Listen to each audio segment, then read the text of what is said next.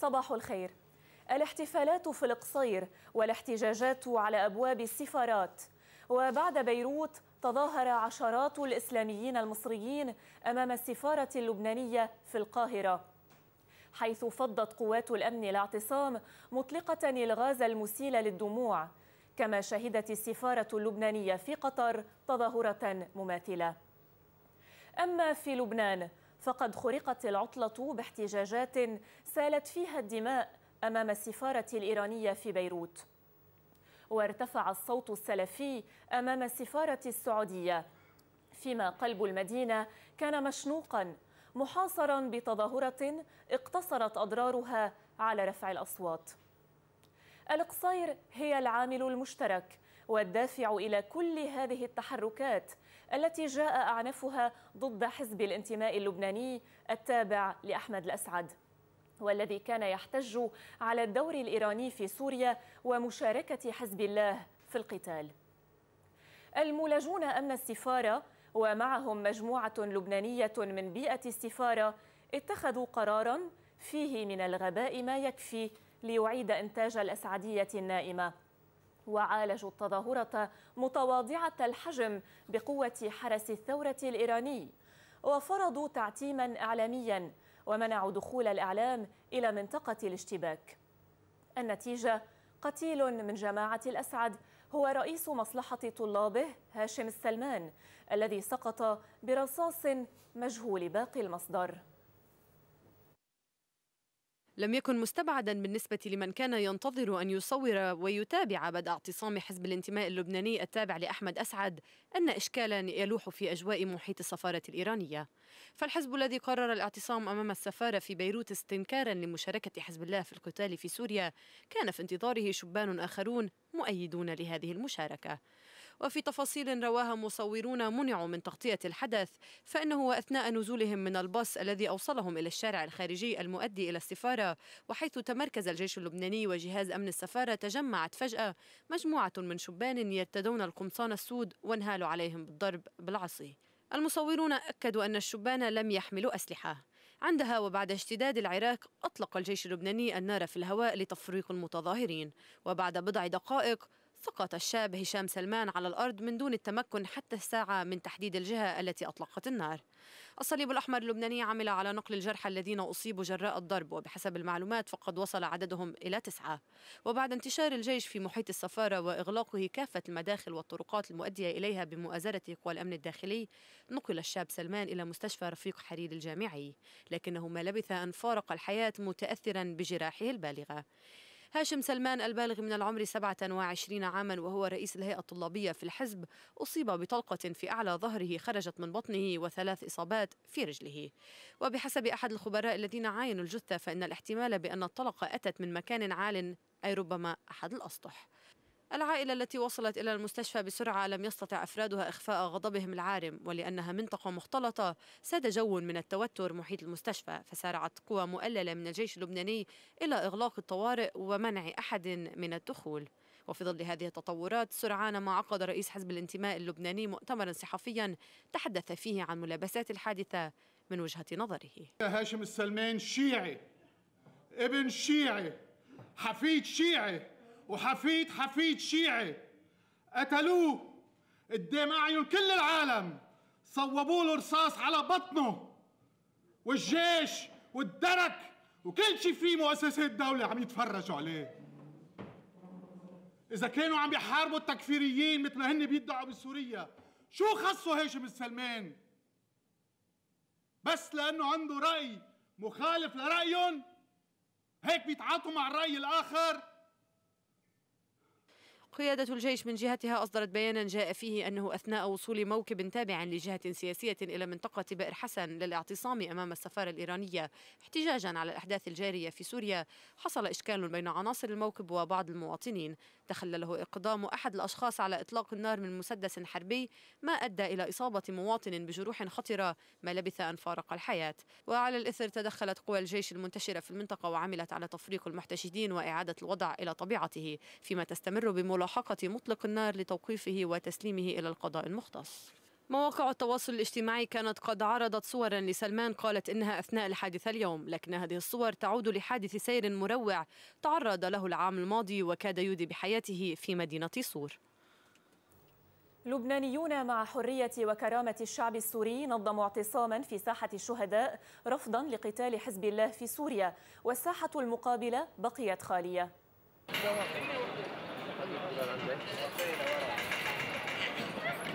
هكذا بدت ساحة الشهداء في وسط بيروت في يوم العطلة الأسبوعية. كل شيء خال للقوى الأمنية التي اتخذت تدابير أمنية استثنائية. أما الأسباب فهي دعوتان إلى تظاهرتين في الزمان والمكان عينه. الأولى رافضة لتدخل حزب الله في معارك سوريا والثانية داعمة للحزب. القوى الأمنية التي وقفت على أهبة الاستعداد عند تقاطع ساحتي رياض الصلح الشهداء مضى يومها من دون أن تضطر ميدانيا إلى تنفيذ أي من تدابيرها. إذ لم يأتي أحد من الذين دعوا عبر موقع فيسبوك للمشاركة في دعم مسيرة حزب الله وفسرها البعض على أنها كانت مناورة من قبل بعض الأفراد ولم تتبناها الأحزاب المعنية. أما ساحة الشهداء حيث التجمع جاء بدعوة من لبنانيون مع حرية وكرامة الشعب السوري فقد اقتصروا الحضور على أعداد قليلة وقد عزى البعض الأسباب إلى عدم التنسيق المسبق مع قوى الرابع عشر من أذار والبعض الآخر إلى التدابير الأمنية. وعلى الرغم من الحضور الخفيف إلا أن الكلمات كانت عالية اللهجة لجهة رفض التدخل العسكري لحزب الله في سوريا. واعتبر الخطباء أن السابع من أيار انتهت مفاعيله وأن زمن الخضوع قد انتهى. نحن اليوم في هذه الساحة لسنا هنا صدفة. نحن هنا من أمام ضريح الرئيس الشهيد رفيق الحريري لنواجه قتلة الرئيس الشهيد رفيق الحريري. ولنقول للعالم أن الذين يقاتلون في سوريا هؤلاء ليسوا لبنانيين. هؤلاء ثقافتهم إيرانية وعلمهم إيراني ومالهم إيراني وسلاحهم إيراني ونحن من هنا كلبنانيون. أتينا لنمسح العار الذي أتى على لبنان من ورائهم. نحن المقاومة الحقيقية. نحن من دافع عن لبنان العيش المشترك. لبنان الدولة والدستور والشرعيتين العربية والدولية. في شعب بيقول لا لحزب إيران للجناح العسكري الإيراني. آه، أنا ما رح سميه حزب الله لأنه أنا بعتقد حرام واحد يقول. حزب الله ويكون في آه، قتل قتل شيعة وسنة بسوريا. انخراط حزب الله المباشر بالأزمة السورية آه، استجر الفتنة إلى الداخل اللبناني وأنا بعتقد نحن على طريق الفتنة. المشاركة الحزبية اقتصرت على حزب الوطنيين الأحرار وأعداد لا بأس بها من الجالية السورية ولكل منهم أسبابه للمشاركة. وجودنا هون كان أساس تنأكد إنه نحن رح نضلنا بوجه كل شخص عم بيجرب يحول لبنان إلى محور إقليمي ونقول لهم إنه لبنان هو كل عمره بيتمتع بالسيادة اللي نحن تعودنا عليها. نحن لا بنمثل 14 ولا بنمثل 8 بنمثل كلمة الحق بنمثل دعونه هذا لبنان. بنمثل دعون هالوطن. تطلع من بيتك بتلاقي علم لبناني عم يرفرف ترفرف قلبك بيفرفش. تطلع من بيتك بتشوف العلم بتقول يا رب امنيني عنه. كرهت وطنك كرهت شعبك. أنا جيت بس مشان أشارك مشان أنصر بلدي يعني وأرفض تدخل حزب الله بسوريا. ما بدنا حرب نحن لا مع حزب الله ولا مع حدا تاني بس إنه بدنا سلام وبس إن كان لسوريا وإن كان للبنان. انتهى التجمع من دون أي احتكاك أو إشكال أما المفاعيل الوحيدة له فكانت فقدان العاصمة بساحاتها وأحيائها زحمة عطلة نهاية الأسبوع وتخييم أجواء الحذر والترقب. حواجز أمنية فصلت بين اللبنانيين الذين اتفقوا أن يختلفوا على أي تفصيل في حياتهم السياسية. ساحة خلت من روادها الذين كان يفترض أن يدعموا خط المقاومة. أما الثانية فلم يكتمل نصابها على الرغم من الكلمات الحادة التي جاءت تحت عنوان رفض تدخل حزب الله في سوريا. من وسط بيروت باسل العريضي قناة الجديد. بين الأناشيد والأعلام والتنظيم دلالات سياسية عدة حملها مهرجان الجماعة الإسلامية المركزي في صيدا. حشدت الجماعة الإسلامية في صيدا حيث أقامت احتفالها الإنشادي المركزي المنظم تنظيما دقيقا أشرف عليه عناصر انضباط الجماعة. وعلى الرغم من برودة العلاقة بين الجماعة والشيخ أحمد الأسير غير أن الصور الأخير لم تغب عن المناسبة ولا الهتافات المؤيدة له بين جماهير الحاضرين. الأسير لم يحضر معتبرا أن مهرجانات دعم المعارضة تأخر منظموها بالقيام بها فمعركة القصير انتهت بحسب ما نقل عنه. غياب الأسير عوض عنه حضور الفنان المعتزل فضل شاكر الذي أثبت قدرة على الحشد بدوره. لتؤكدوا أنكم سندا سند لهذه الثورة. فجاهدوا بما تملكون من مال وذهب لشراء السلاح للجيش السوري الحر المبارك. لا خطب سياسية في المناسبة غير بضع كلمات كان يلقيها عريف الاحتفال بين الأناشيد. الله أكبر لن تضيع دماء إخواني. سدى فالنصر أقبل ضاحكا والحق زاد. توقدا والحق زاد توقدا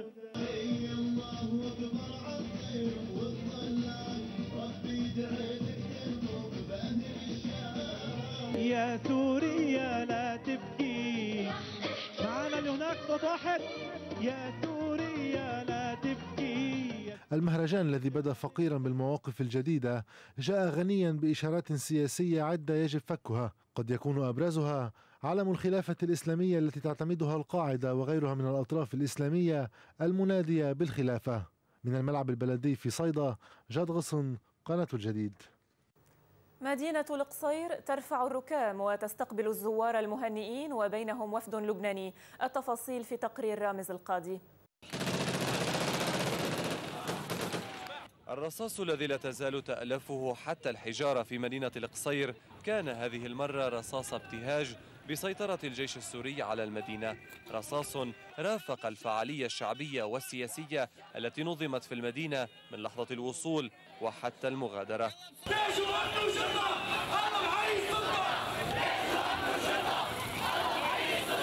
الأعلام السورية أضفت ألوان الحياة بالرغم من الخراب ورائحة الموت المنبعثة من تحت الركام. الهتافات بحياة الرئيس السوري بشار الأسد والسيد حسن نصر الله هي الأخرى كانت كأزيز الرصاص لا تتوقف. والأسد بعد الله! لك والأسد بعد الله!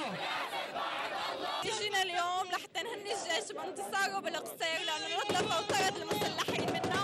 وإن شاء الله عبال بقية المناطق السورية. جاي أقول إنه القصير خسر الأسد. جاي نقول للارهابيين لأنه ما ما حد قدنا نحن الجيش السوري حامينا. ومعنا بيضل معنا بالقصير وبكل أماكن البلد. هذه الفتاة الصغيرة اختارت حمل العلم الروسي على ما عداه من الشعارات. لأنه روسيا معنا. مع مين؟ معنا سوريا نحن. هذه الحرب ألغت حدود سايكس بيكو الكلام للنائب اللبناني السابق حسن يعقوب رد فيه على مبرر وجود اللبنانيين بكثرة إلى جانب السوريين في القصير. من خطط لهذه الحرب؟ هو نفسه من خطط لتموز 2006 وكما نال في تموز 2006 هزيمة نكراء وانتصرنا انتصار استراتيجي وتاريخي فإن الانتصار الذي يحصل اليوم والذي سوف يتوالى فيما بعد سوف يكون أكثر استراتيجية وأكثر تاريخية. اليوم بداية هذا الوضع الجديد في المنطقة يبدأ من القصير. قوات النخبة في الجيش العربي السوري توجهت إلى حلب قبل خمسة أيام من إعلان القصير منطقة آمنة. وأنا أبشر بأن الوقت قريب وقريب جدا لهذا الانتصار تتمته الكبيرة والتتمة على كل أرض سوريا. ورشة الأعمار بحاجة إلى مزيد من الوقت ولن تبدأ بشكل كبير حتى الانتهاء من السيطرة على كافة أنحاء البلاد التي تشهد نزاع لكن هذا لم يمنع من ورشة محلية بدأت على صعيد المحافظة وحكي عن بدء دفع تعويضات بدل أعمار في الأسابيع المقبلة.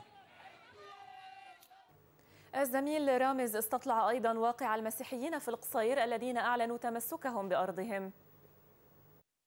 أسئلة كثيرة طرحت عن مستقبل المسيحيين في سوريا مع بدء الأزمة وخلالها وما بعدها. هنا في هذه الحارة في مدينة القصير يصر المسيحيون على البقاء في أرضهم مهما كانت الظروف. يا أبو جار شلونك ان شاء الله مليح بركي شافتني مرته عاد ابن عمي هذا. السيدة مريم أو أم وائل كما يناديها الجميع هنا كانت في عداد العائدين من أهالي القصير لتفقد ممتلكاتهم.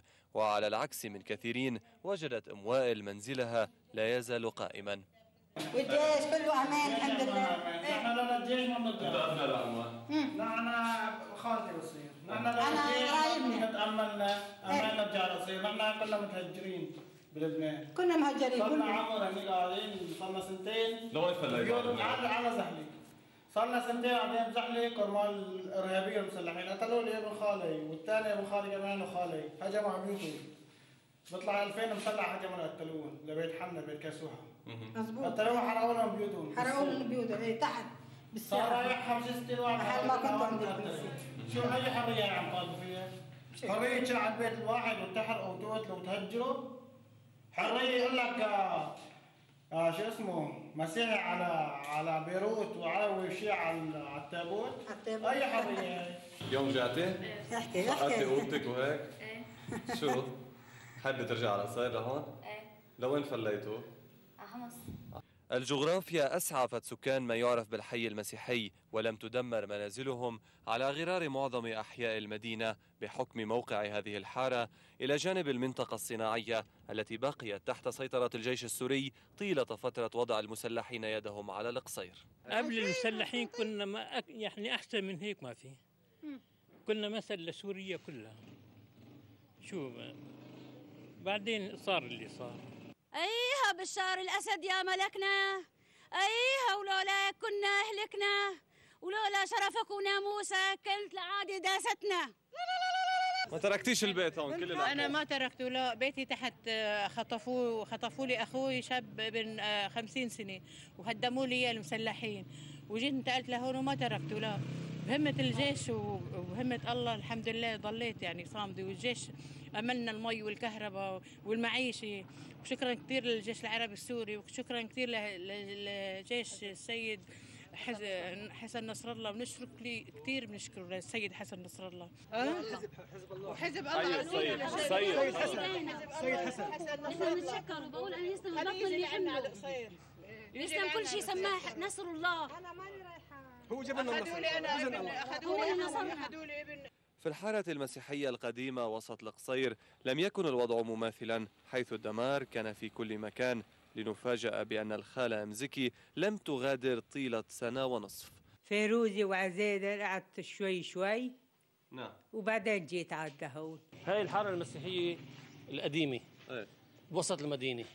هون كنا نحن عايشين سوا الإسلام والمسيحية. الكنيسة في وسط المدينة وعلى الرغم من الدمار الذي لحق بها تبدو شاهدة على إصرار المسيحيين على البقاء في أرضهم بوصفهم مكون طبيعي وأساسي من المجتمع السوري. من مدينة القصير رامز القاضي قناة الجديد.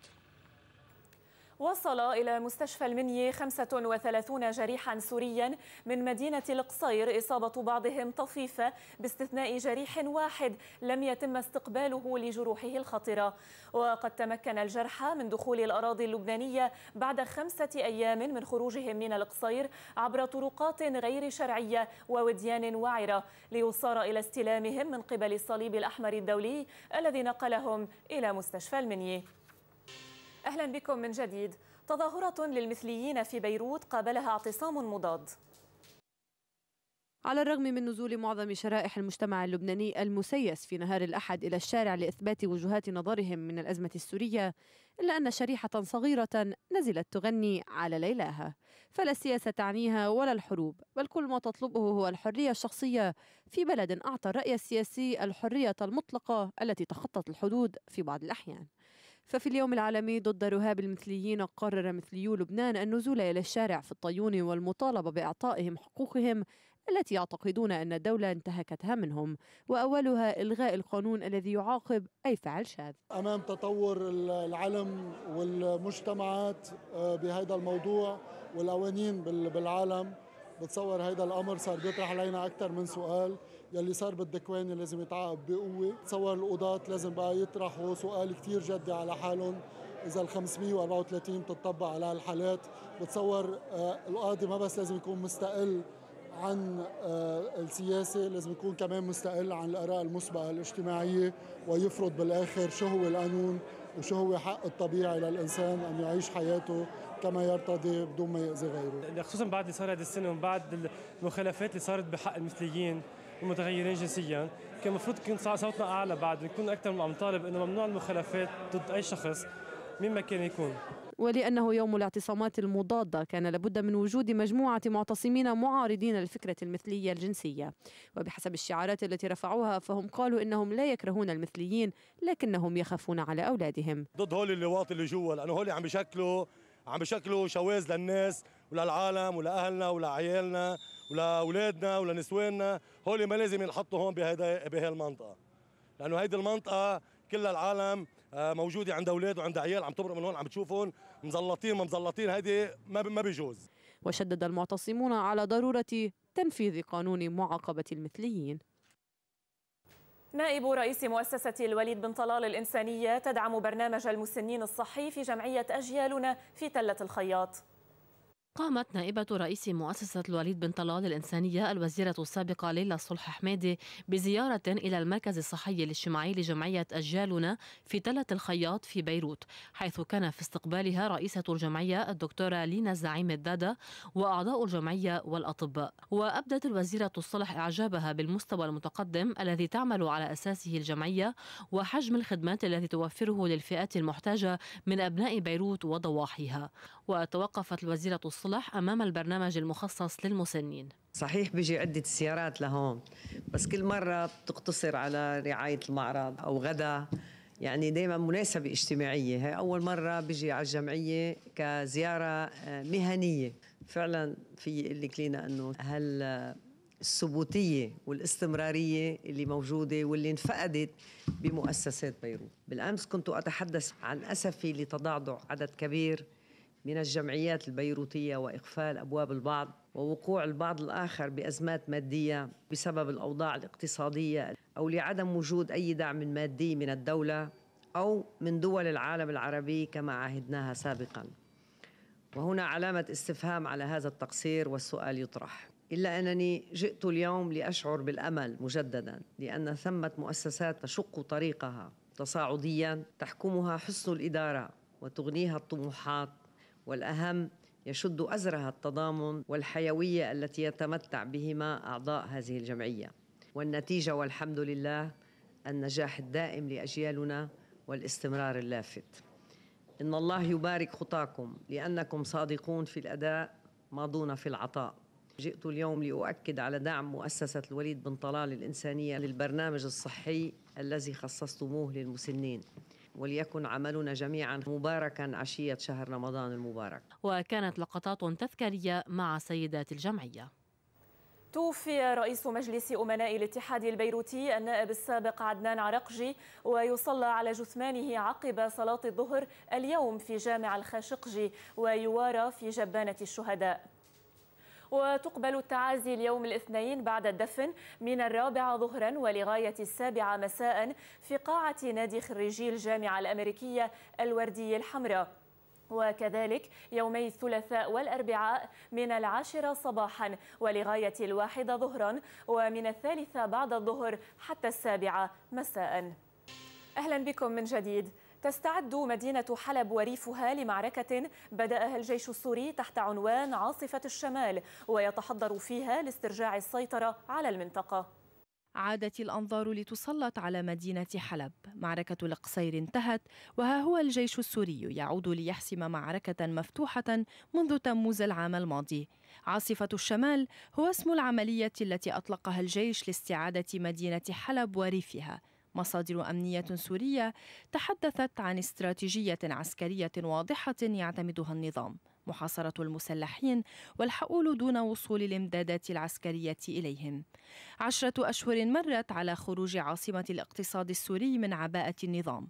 الحراك في المدينة التاريخية كان تأخر كثيرا. وعندما بدأ بدأ الحديث معه عن نقطة مفصلية في الصراع يحددها مصير حلب. المسلحون اعتبروها الممر الطبيعي إلى دمشق عدا عن الثروة الاقتصادية التي صبت بمعظمها في تركيا والنظام عدها خسارته الكبرى فهي معقل الدعم الأول تاريخيا على قاعدة زواج التجارة والسياسة. وبحسب المصادر الأمنية فإن حلب باتت منذ انطلاق العملية منطقة اشتباك عالية. والمعارك تدور فيها على أربعة محاور. الأول هو محور حي الراشدين وفرع المخابرات الجوية في اتجاه بلدة كفر حمراء وبلدة معرة الأرتيق. أما المحور الثاني فهو ظهرة عبد ربه في حي الليرمون باتجاه بلدة حريتان التي سيطر عليها الجيش بعد اشتباكات عنيفة علما أنها تقع عند مدخل حلب الشمالي. المحور الثالث يشمل بلدتي نبل والزهراء. والرابع هو محور مطار منج الذي تدور حوله المعارك منذ أشهر عدة. وبحسب وكالة سانا للأنباء فإن النظام دفع بأربعة آلاف عسكري إلى حلب فيما أفاد مصدر أمني سوري عن تحقيق إنجازات في كفر حمراء وحريتان وعندان وحيان والشيخ مقصود وبستان الباشا وبستان القصر والعامرية. بموازاة ذلك تدور معركة أخرى حامية واستراتيجية للطرفين. تهدف إلى السيطرة على معامل الدفاع في قاعدة السفيرة الواقعة جنوبي شرقي حلب.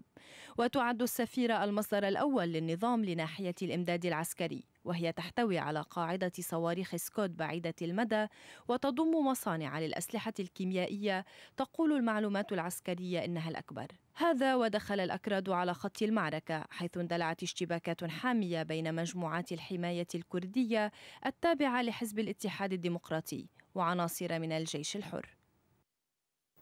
على بعد أقل من خمسة كيلومترات عن قرية مروحين اللبنانية حقق أهالي قرية إقرس المسيحية في الجليل الأعلى حلم آبائهم وأجدادهم بالعودة بقوة القانون. عبرت من بوابة الدموع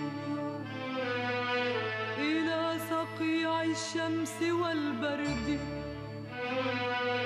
لا خيمتي وحدي في خيمتي وحدي. ودخلوا بوابة العودة عبر قرية إقرث في الجليل الأعلى.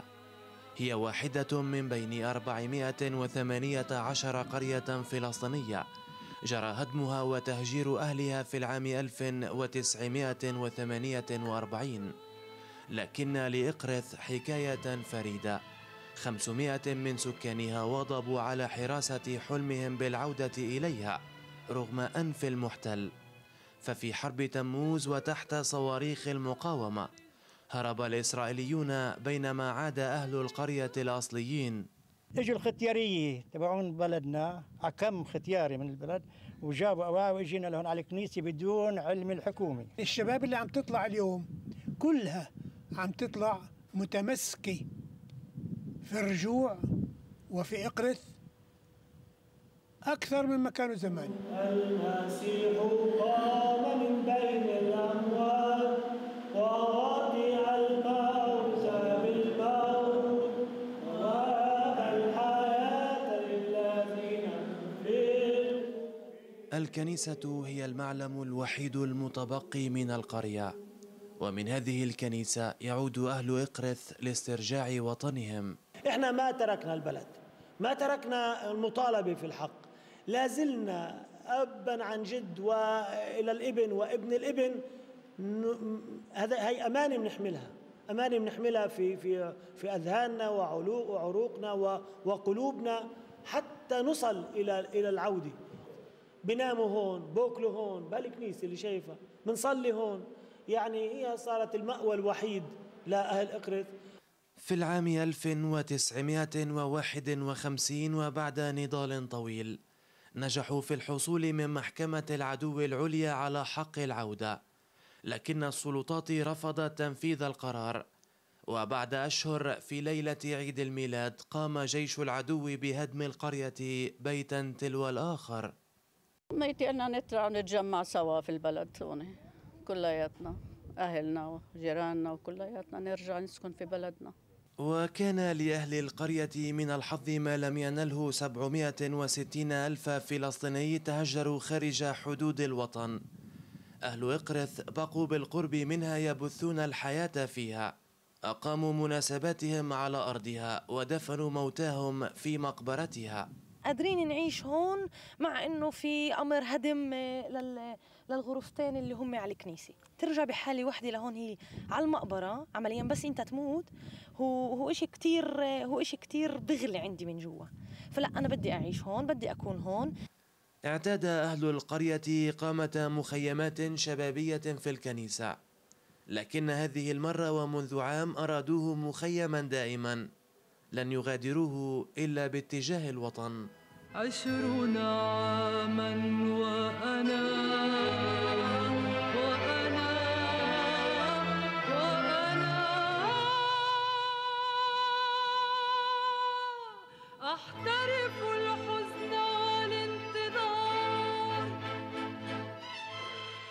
64 عاما وأهالي هذه القرية يحترفون الانتظار يترقبون الآتي ولا يأتي لكنهم اليوم بصمودهم وعنفوانهم. فرضوا أمرا واقعا ودخلوا بوابة العودة محققين حلما طال انتظاره لكل لاجئ. من أراضي قرية إقرث المدمرة في الجليل الأعلى المحتل. نزار حبش قناة الجديد. صفحة أخبار منوعة من العالم في هذا التقرير.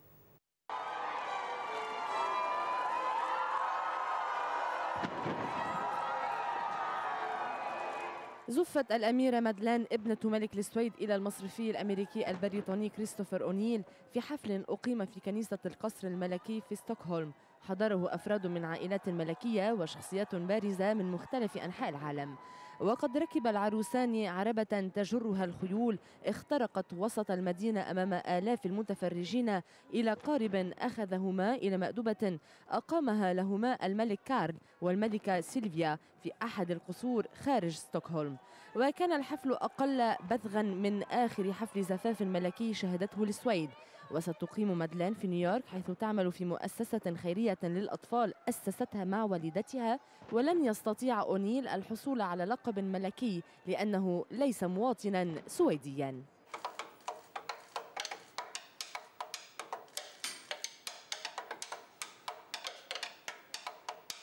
استخدم المؤلف الموسيقي الأمريكي جوزيف برتولوتزي برج إيفل كآلة موسيقية عملاقة بهدف تسجيل قطعته الموسيقية الجديدة بعنوان Tower Music أو موسيقى البرج من على قمة برج إيفل في فرنسا.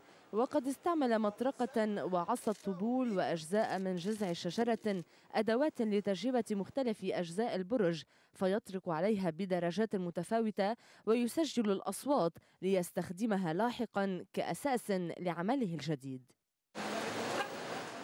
تنزه مئات الدراجين عراة في شوارع العاصمة المكسيكية احتجاجا على الاستخدام المفرط للوقود الحفري ولصالح التنقل على متن الدراجات البخارية وتشجيع استخدام وسائل النقل التي تعتمد القيادة بشرية. وتعد هذه النسخة الثامنة من تظاهرة تنظم في مكسيكو سيتي منذ عام 2006 في إطار الحركة الدولية السباق العالمي على الدراجات البخارية للعراة التي ظهرت في فانكوفر في كندا عام 2004 بعد تلقيه العلاج في كاليفورنيا عاد الكلب البطل الذي فقد أنفه إلى الفلبين.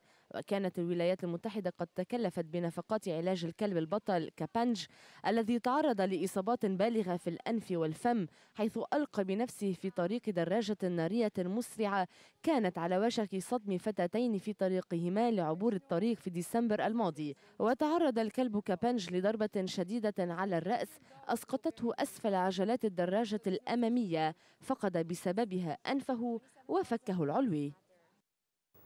وننتقل الآن إلى قراءة أبرز عناوين الصحف الموزعة اليوم في بيروت. في النهار لبنان يستغيث مليون سوري وثمانون ألف فلسطيني. الحاجة إلى 1.6 مليار دولار لأعمال الإغاثة. القوات النظامية على وشك مهاجمة حلب. المعارضة لن تذهب إلى جنيف 2 بلا سلاح. أين يسبح اللبنانيون في الصيف؟ شاطئا أنطلياس والرمل البيضاء ملوثان. في صحيفة السفير ممر سياسي إنساني لجرحى القصير. صفقة التمديد تترنح بالطعن السياسي. انطلاق مناورات الأسد المتأهب في الأردن. معركة وشيكة في حلب وشكوك بجنيف. بدء العد التنازلي لانتخابات إيران. تحالفات الأيام الأخيرة تحسم المشهد. وبقلم طلال سلمان لبنان في الحرب السورية وعليها. إلى صحيفة الأخبار. سلام يشكو السنيورة يعرقل. طب عدم شرعي. وفي الأنوار إجراءات الجيش منعت التدهور في بيروت وصيدا.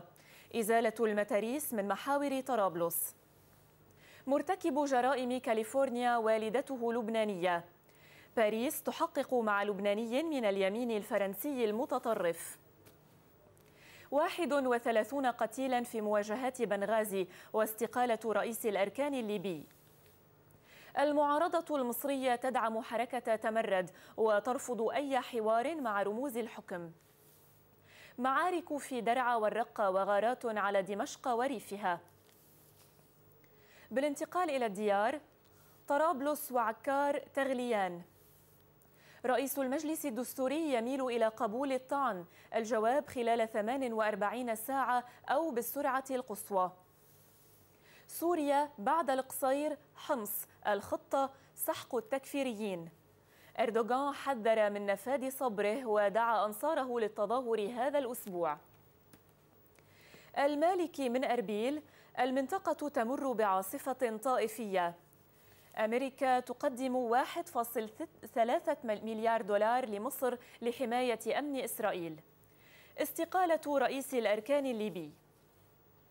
في صحيفة المستقبل أحمد الأسعد للمستقبل مشكلة نصر الله ليست مع التكفيريين إنما مع الرأي الآخر في طائفته. بسيج حزب الله يستبيح دم الاعتراض الشيعي. وداعني الضاحية لا مأسوفا عليك بقلم خديجة العمري. مقتل العشرات من قوات الأسد حزب الله في ريف حلب. الجيش الحر يسيطر على إنخل ويتقدم في الرقة رحلة جهنم لنازحي القصير إلى بوابة الموت. ننتقل إلى البناء. المجلس الدستوري يصدر تقريره بالطعن قبل عشرين الجاري و14 أذار تبتز سلام. السفارة الأمريكية تحرض على الفتنة لرفع معنويات حلفائها وحشر المقاومة. شهد تركيب الحاوية الرئيسية للمفاعل. نجاد يرعى تدشين قاعدة للرصد الفضائي. وصول عشرات الجرحى والمصابين إلى مستشفيات البقاع والشمال. بعد القصير بدء معركة عاصفة الشمال في حلب. ترأس مجلس الوزراء في أربيل بحضور رئيس حكومة الإقليم. المالكي يحذر من عاصفة الطائفية ويدعو للمصالحة. أوجلان يؤيد الاحتجاجات الشعبية ويحذر من استغلال الوضع. أردوغان يصف المتظاهرين بالمخربين واللصوص. برلمان جنوبي السودان يدرس قرار البشير. الخرطوم تلغي اتفاقات أمنية واقتصادية مع جوبا. اللواء عنونت ويك أند القطوعات الأمنية ينتهي بقتيل أسعدي أمام السفارة الإيرانية وتجاذب حول الجرحى السوريين. الحرب السورية تخلخل بنية لبنان وتهدد استقراره واقتصاده. مصدر خليجي للواء مصالح اللبنانيين في الخليج في خطر إذا استمر تدخل حزب الله. انقسام الساحات واشتباكات بأنقرة والأوروبي لضبط النفس. أردوغان للمتظاهرين نحن الملايين وسنلقنكم درساً. الأسد يستعد لمعركة حلب والأسد المتأهب يبدأ تمارينه في الأردن.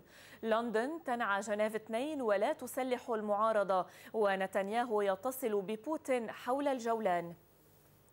أنهى القطيعة مع الأكراد وترأس جلسة للحكومة في أربيل. المالكي يحذر من عاصفة طائفية بسبب سوريا. في صحيفة البلد مقتل شيعي معارض أمام السفارة الإيرانية. دمشق تطلق عاصفة الشمال لتحرير حلب. في الجمهورية بري للجمهورية الأمور مجمدة حاليا في انتظار قرار المجلس الدستوري. اتجاه إلى قبول الطعن. لكم قصيركم ولنا لبناننا. الجولان أول فاتورة تدفع من الحساب السوري. وفي صحيفة الحياة الجيش اللبناني يستكمل خطته الأمنية في طرابلس والاحتقان الداخلي يتصاعد والتيار الحر يخشى نزوحا سوريا مبرمجا لتغيير واقع ديموغرافي. مقتل معترض على قتال حزب الله في سوريا بالرصاص والعصي أمام سفارة إيران. هيج يرى أن تطورات الميدان تعقد مؤتمر جنيف 2 ومناورات الأسد المتأهب تبدأ في الأردن. النظام السوري يحشد لعاصفة الشمال والمعارضة تتقدم في الجنوب والشرق. في غياب أي إمكان لإيجاد حل للأزمات المتلاحقة المالكي وبرزاني يتفقان على إدارة الخلاف. تشييع ضحايا بنغازي والجيش يتسلم مقرات درع ليبيا. طرابلس السبت الأسود يطيح رئيس الأركان. المتظاهرون مصرون على تسمية المسؤول عن قمعهم والحزب الحاكم يرفض انتخابات مبكرة. إردوغان يحشد لشارع مضاد تحلينا بالصبر لكن للصبر حدوداً. ترجيح جولة ثانية للانتخابات الإيرانية ومساع لسحب ترشيحات لمصلحة كاليباف. الإصلاحيون يلتفون وراء روحاني والأصوليون مهددون بتشتت أصواتهم. وفي الحياة وبقلم غسان شربل أمطار التاريخ. نختم مع صحيفة الشرق الأوسط. مصرع 31 في مواجهات بنغازي ورئيس الأركان يستقيل. ليبيا تقرر إخضاع الميليشيات بالقوة. نتنياهو لحكومته لن نتدخل في سوريا إلا إذا وجه السلاح ضدنا. قوات الأسد تستعد لعملية حلب وتشكيك في موعد جنيف 2 البردوي للشرق الأوسط تدخل حزب الله خطأ جسيم. الناطق باسم حماس علاقتنا بطهران تأثرت ولم تنقطع. صرح للشرق الأوسط أن المشكلة بين السياسيين الطائفيين. علاوي العراق سفينة بلا ربان وإيران صاحبة القرار فيه. حفيدة الخميني تشكو من ميزانية الإصلاحيين. إيران تحالف بين روحاني وعارف لتجنب تشتت الأصوات. دعا لتلقين المتظاهرين درسا في الانتخابات البلدية. إردوغان للصبر حدود. كان في النشرة قتيل أمام السفارة الإيرانية وأحمد الأسعد يصعد. بس لأنه عنده رأي مخالف لرأيهم هيك بيتعاطوا مع الرأي الآخر؟ تظاهرة المشنوق خالية من الاعتصام المضاد. مفاعيل سبعة أيار تعيتك انتهت إلى غير رجعة. الجماعة الإسلامية تنشد الثورة بفضل شاكر.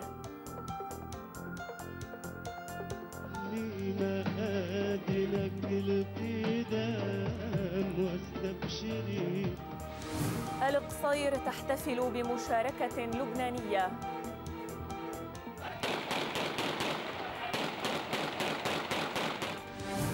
الجيش السوري بدأ عاصفة الشمال نحو حلب در. وكان في النشرة اقرص عادت بقوة الانتظار. عبرت من بوابة الدموع إلى صقيع الشمس والبرد.